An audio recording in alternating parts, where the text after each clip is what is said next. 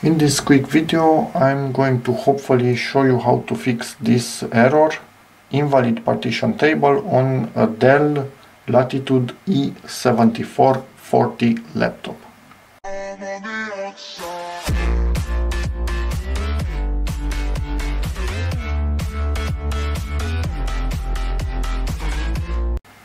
Okay, so let me give you all the informations.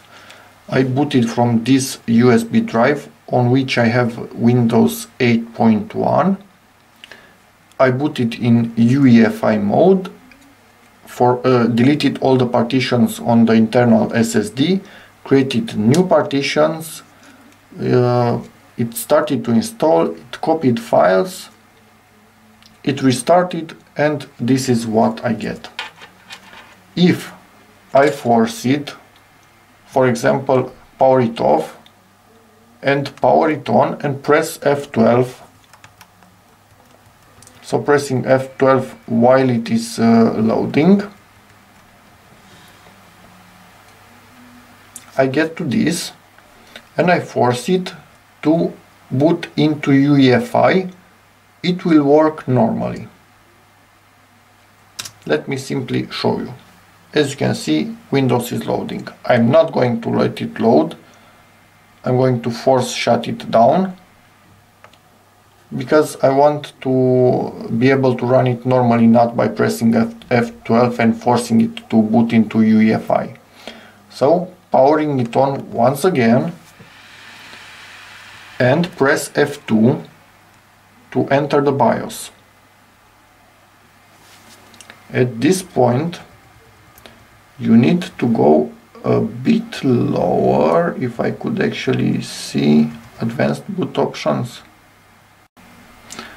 But the problem is that I have okay here first one sorry. So you do not disable this. Don't disable it. Ignore me. Let me zoom in. We are in the BIOS and you go to boot sequence and set it to UEFI and click apply and then exit. And let it do its thing. Yes this is really dirty. I'm working on it. It will be a whole separate video where I clean it install Windows whatever. And as you can see it is actually booting and it is showing us our Dell logo because it is booting in UEFI which somehow connects the software with the hardware Windows with the UEFI old BIOS.